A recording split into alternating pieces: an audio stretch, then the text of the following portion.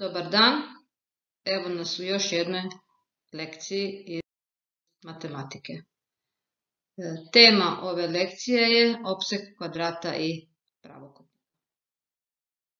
To očekujemo od vas e, da znate na kraju ove lekcije, da znate opisati i računati opseg kvadrata i pravokutnika, računati duljinu stranice kvadrata pravokutnika, opisivati i računati opseg zadanog geometrijskog lika i primijeniti opseg likova za rješavanje problemske situacije.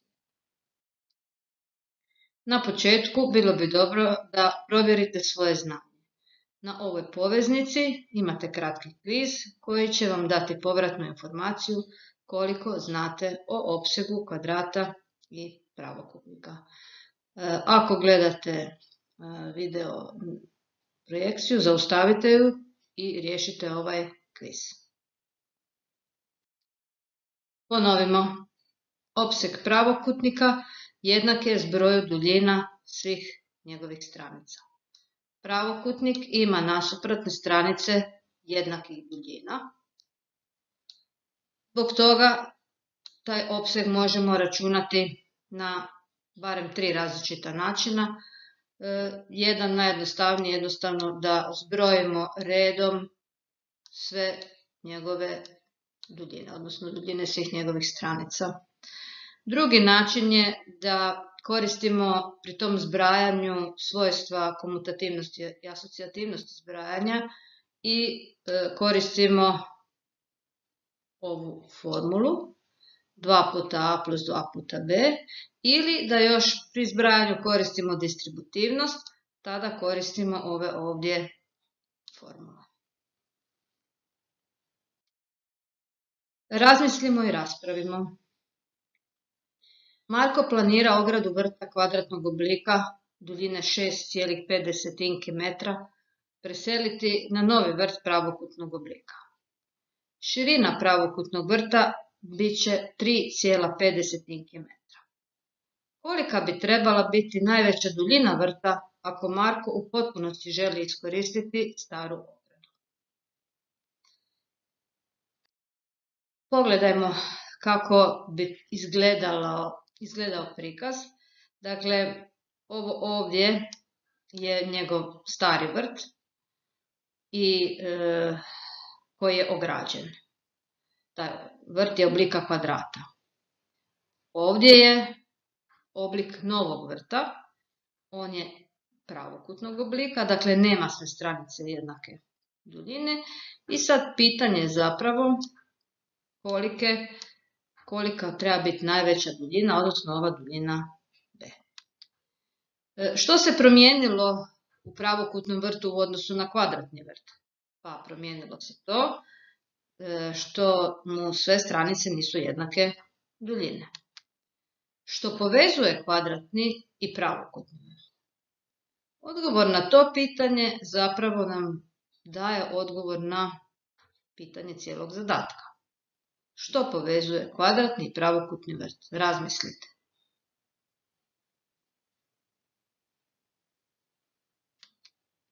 Što moramo izračunati?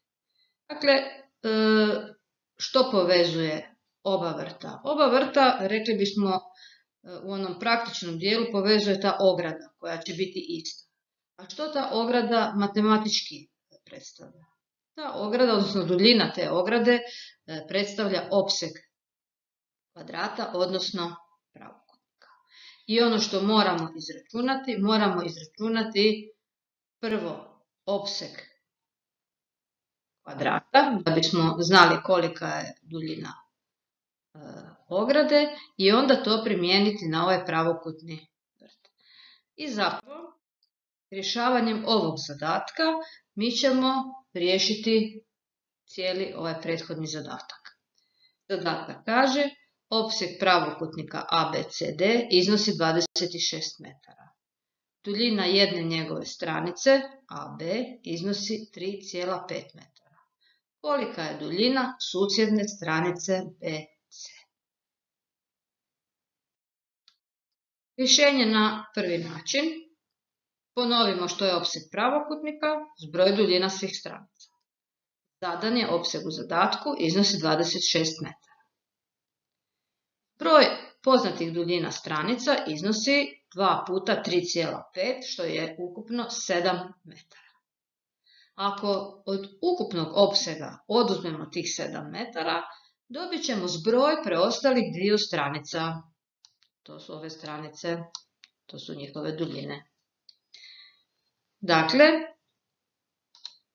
od opsega ćemo oduzeti zbroj poznatih duljina i dobit ćemo zbroj dviju nepoznatih duljina. Sad se malo pozabavimo računanjem. 26 minus 7 je 19, a b plus b je 2 puta b, odnosno 2b. Ovo je jedna jednadžba koja u sebi ima množenje i znači kako ćemo e, doći do nepoznanice. Čemu je b jednako? b je jednako 19 podijeljeno sa 2. Nepoznati faktor računamo tako da umnožak podijelimo sa poznatim faktorom. I duljina b iznosi 9,5 desetinki metra. Rješenje na drugi način. E, opseg pravokutnika sa stranicama duljine a i b formalno zapišemo pomoću formule. Dakle, 26 jednako je 2 puta 3,5 plus 2 puta b. Kad ovo napišemo bez znaka puta, vidimo da smo dobili jednaštvo koja u sebi ima zbrajanje i ima nepoznati pribrojnik. Kako se računa nepoznati pribrojnik? Nepoznati pribrojnik se računa tako da od zbroja 26 je zbroj, oduzmem poznati pribrojnik. Dakle, 2b jednako je 19. Ovo je opet jedna jednažbica gdje mi je b faktor nepoznat. Kako računam nepoznat faktor? Tako da umnožak podijelim sa poznatim faktorom. 19 podijeljeno sa 2 je 9,5 metra. Dakle, na ova načina smo dobili isti rezultat što je zapravo i trebalo tako. Sljedeći zadatak. Imamo zadan opseg kvadrata 150 cm. Pitanje glasi kolika je duljina stranice tog kvadrata. Jednostavan zadatak. Kvadrat je pravokutnik kojemu su i susjedne stranice jednake duljine, pa zaključujemo da su mu sve stranice jednake duljine. Opseg je dakle 4 puta a. Možemo uvrstiti umjesto opsega. Zapišemo njegov zadani iznos. Imamo malu jednadžbicu koja ima za nepoznanicu jedan faktor. Opet pitanje kako se računa nepoznati faktor. Nepoznati faktor se računa tako da umnožak, u ovom slučaju 150, podijelimo sa poznatim faktorom 4. Dakle, 150 podijelimo sa 4. Evo malo da se podsjetimo tu sa strane e, kako izgleda dijeljenje i vidimo da A iznosi 37,5 desetinki centimetra. Duljina stranice kvadrata opsega 150 cm iznosi 37,5 desetinki centimetra. Sljedeći zadatak. Opseg pravokutnika ABCD iznosi 61,4 cm. Provjerite je li pravokutnik ABCD na slici ujedno i kvadrat. Podsjetimo se, svaki kvadrat je pravokutnik. Međutim, pravokutnik je kvadrat samo onda ako su mu susjedne stranice jednake duljine.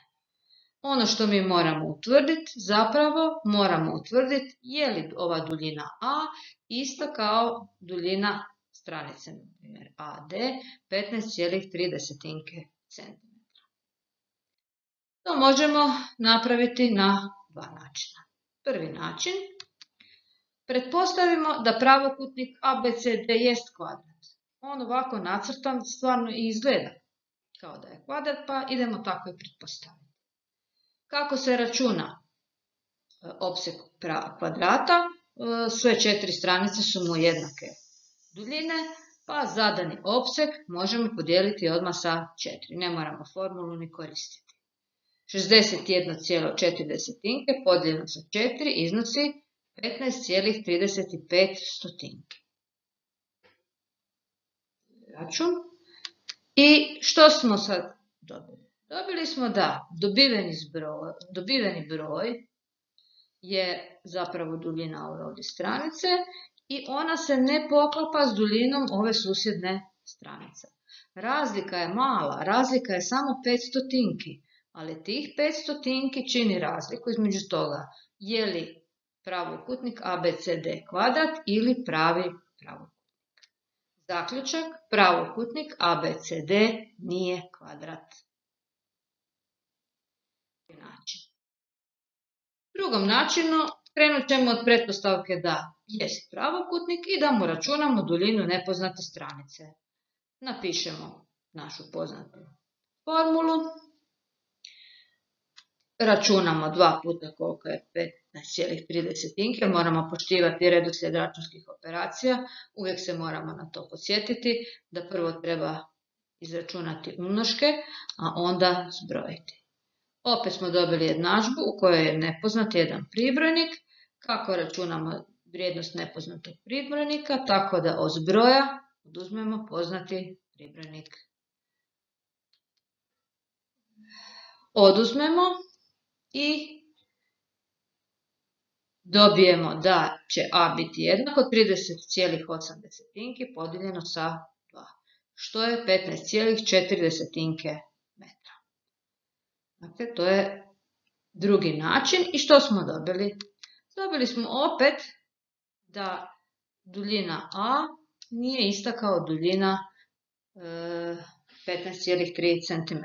Odnosno, duljine stranica AB i CD se razlikuje od duljine stranica AD i CB. Stoga ovaj pravokutnik nije kvadrat. Sljedeći zadatak. Koliko ima različitih pravokutnika opsega 10 cm kojima su duljine stranice prirodni brojevi izraženi u centimetrima.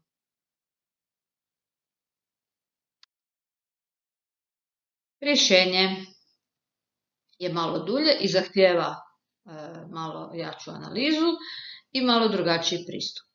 Dakle, pravokutnik ima dva para jednakih susjednih stranica.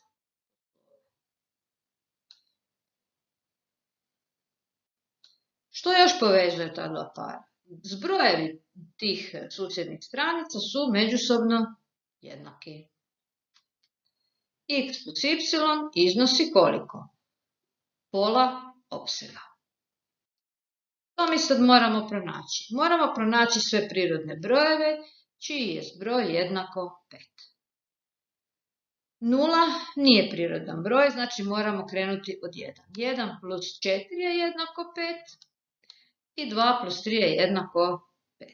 Naravno, koristeći komutativnost možemo utvrditi i da je 4 plus 1 jednako 5 i 3 plus 2.